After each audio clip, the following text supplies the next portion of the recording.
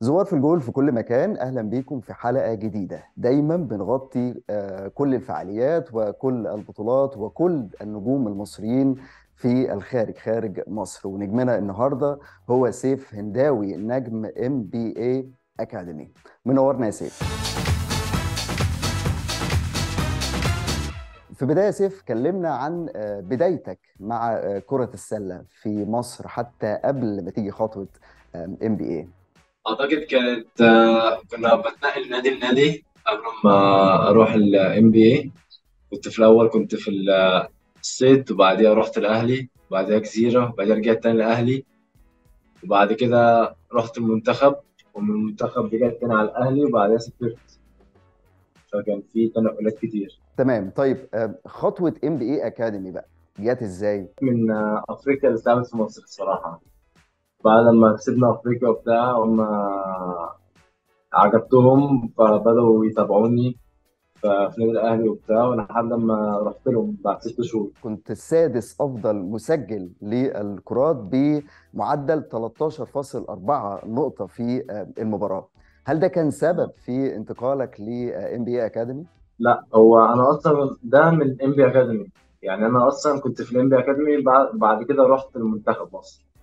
لعبت كاس عالم. ممكن إيه المهارات اللي انت كنت اكتسبتها من NBA Academy سواء مهارات شخصية أو حتى سواء مهارات فنية؟ هي اعتقد علمتني إزاي ابقى ألعب مع الفرقة أكتر ويبقى في chemistry ما بيننا وبين اللعيبة. وأعتقد كمان عشان أنا بلعب دايما playmaker فعندي vision أكتر أحسن للكوره و ball control أحلى. فأنا حاسس ده برضو زود من من ثقتي بنفسي أكتر. فعشان كده بدأت أسجل كتير وبدأت كمان مش بس بفكر في نفسي بحاول أفكر إن إزاي أخلي الفرقة أحسن. فمنتخب تحت 17 فبرضه كنت بلعب defense برضه وبلم الكور وبتاع كنت أربعة ساعتها في المنتخب. كنتش لسه عشان المنتخب عندنا كان شوية كان قصير. فأنا كنت أعتبر من أطول الناس هناك. هو ده السبب اللي خلاني أبقى تحت أكتر وألم rebound box out و rebound وبلوكات وكده.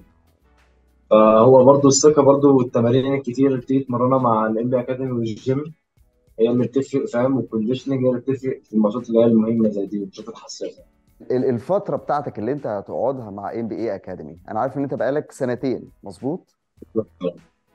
الفترة بقى اللي انت هتقضيها في NBA Academy ممكن توصل آه، لقد إيه؟ تكون قد إيه الفترة؟ آه أنا قاعد أنا قاعد بالظبط ست شهور كمان وأنا دلوقتي senior وخلاص يعني خلصت المدرسة بتاعتي فدلوقتي عندي ست شهور أقعد أتمرن على نفسي وال basket وجسمي كده انت دلوقتي بتقول لي إنك senior فهنا إحنا شو- شوية محتاجين نفهم تفاصيل أكتر. هي ال- التدرج بيكون إزاي والمراحل بتبقى إيه؟ يعني بدأت إيه؟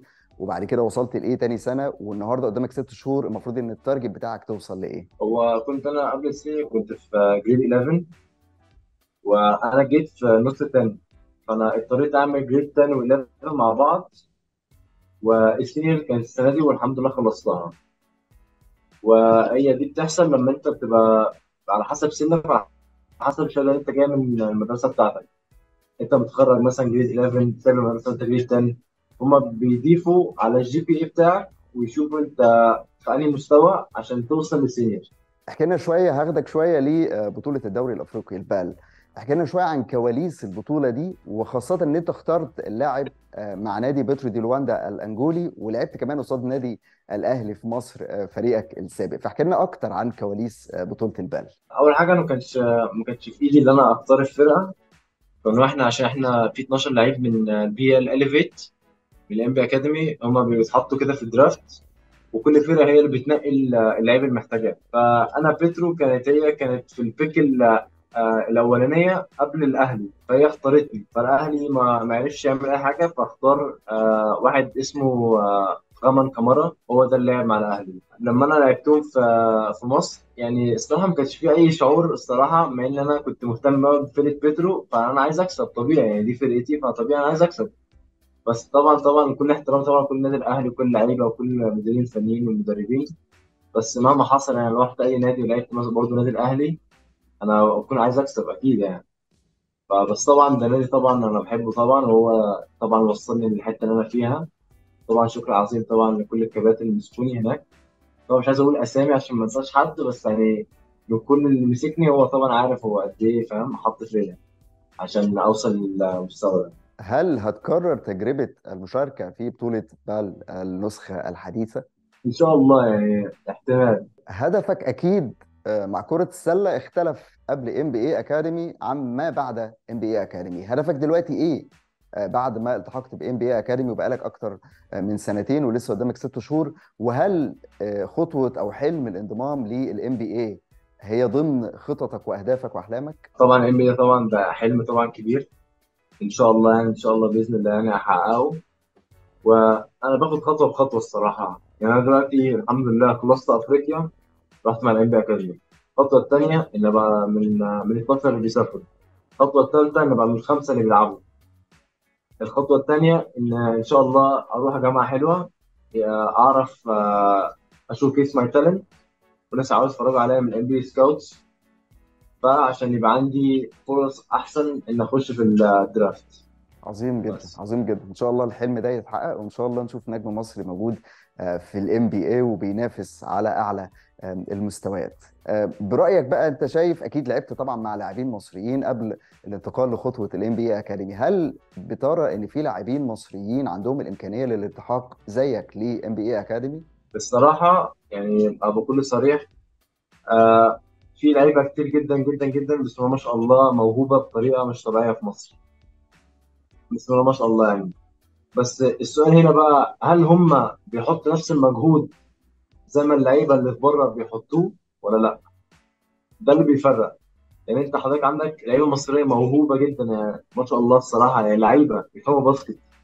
بس هل هم بيحطوا الساعات والتمارين وال... وال conditioning والجيم وال shoot وكل الكلام ده زي اللعيبة اللي بره؟ ده هو ده السؤال. فده لو اتغير هيبقى في ناس كتير بيروحوا أمريكا وناس كتير بيحاولوا ينافسوا على على اسمه ده على championship في البلد اللي هم رايحينها وأسبانيا وأوروبا. فهو ده اللي أنا هو ده اللي أنا بقترحه يعني اللي هو يبقى في وقت أكتر للعيبة ال basket. اللي هو يعني إحنا مثلا في ال NBA Academy بنتمرن كل يوم ما عدا يوم واحد بس بيريح عشان راحة مهمة.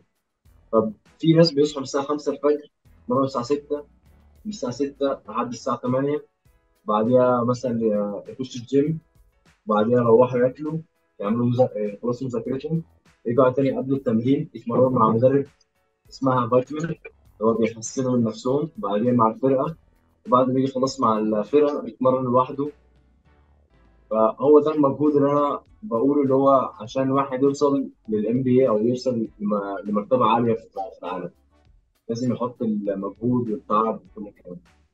ده في مصر شوية ما كانش موجود بالشكل المنظم اللي انت بتتكلم عنه. كان ممكن يكون مجهود فردي صح؟ أنا فهمت صح؟ ده مش هقول مجهود فني عشان برضه هم مش عارفين يعملوا حاجة. أصل إحنا المدربين عندنا 24 ساعة هم قدامنا. ما عندهمش غير إن هم إيه يمرنونا إحنا.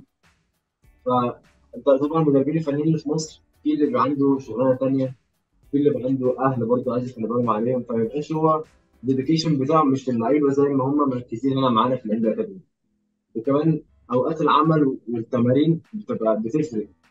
فبتجيب إجهاد وكمان مسافة من بعيدة وكمان مفيش كده مفيش مثلا آه، أوتيل مثلا في ملعب. لا في صح حسن مصطفى بس قصدي مفيش يعني مثلا هو ديديكيشن هو بتاع خميس 6 الصبح 5 لغاية النص بعدها شغل بعدها تمرين بعدها جيم كده يعني. ده اللي أنا مش شايفه الصراحة. تمام عظيم جدا. طيب خليني أسألك بعض الأسئلة السريعة كده. نقول آه بالنسبة لسيف من هو ال- الفريق المفضل ليه في ال NBA Milwaukee Bucks طيب بالنسبة لسيف من هو نجمك المفضل في ال NBA Jayson Tatum في حد في مصر؟ ينفع أقول أبويا؟ ينفع أقول أبويا؟ طبعا. بيضاوي النار تمام طبعا هو والد كابتن سيف. آه بالظبط. ممكن برضه تكلمنا عنه. آه بيمثل لك إيه وساعدك إزاي في خطوتك بالانتقال ل NBA Academy وساعدك إزاي في بدايتك مع كرة السلة؟ صراحة التمرين كان كان دايما بيتفرج إن هو ننزل دايما الصبح نشوت قبل مثلا قبل الماتشات وقبل التمارين مثلا يوم الجمعة يوم السبت لا أوقات لا فيها هو أجازة مبقاش عندي شغل. ده كنت دايما بنزل. وعلمني إزاي إن انزل أتمرن الصبح لوحدي اخش الجيم أجري. طبعا كل ما بكبر كل ما عرفتي بايدي تقرب. وطبعا طبعا 24 ساعة دايما بيكلمني دايما بيتفرج على ماتشاتي على تماريني. بيبقى في حاجات كده اسمها فيو بخلص تمرين مثلا وأبعت له الفيدباك منها وهو يقعد يديني فيدباك عنها. بس هو طبعا آه، من طبعا من الناس اللي طبعا ساعدتني جدا جدا إن أوصل اللي أنا فيه طبعا دلوقتي. وطبعا أهلي برضو كلهم يعني حتى كمان أمي برضو. آه، كانت دايما توديني دايما كابتن فتحي عبد العزيز طبعا يعني طبعا شكري ليه طبعا. وكابتن توني بتاع الجزيرة بس دلوقتي بقى بيتمرن في الزمالك. فكل دول ساعدوني إن هو أتعلم إزاي أحط مجهود في ال basket أكتر. سؤال أخير من هو اللاعب اللي بتحب مهاراته في ال NBA وحتى بتحاول تقلدها ما بينك وما بين نفسك؟ اسمه Tyrese Haliburton. ده بيلعب في Indiana Pacers ده ده point guard بي average مثلا 15 assist ولا حاجة. فهو ده اللي أنا وكمان طويل فاهم؟ رفيع سنة كده. يعني فاهم؟ يعني شوية مدي فاهم؟ هيئتي بس أنا أطول منه الصراحة يعني. طب وبس يعني عظيم أنا جدا. هو كمان point guard فأنا برضه point guard فبحاول أتعلم منه كتير يعني.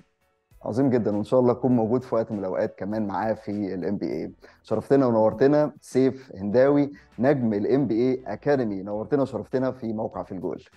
شكرا.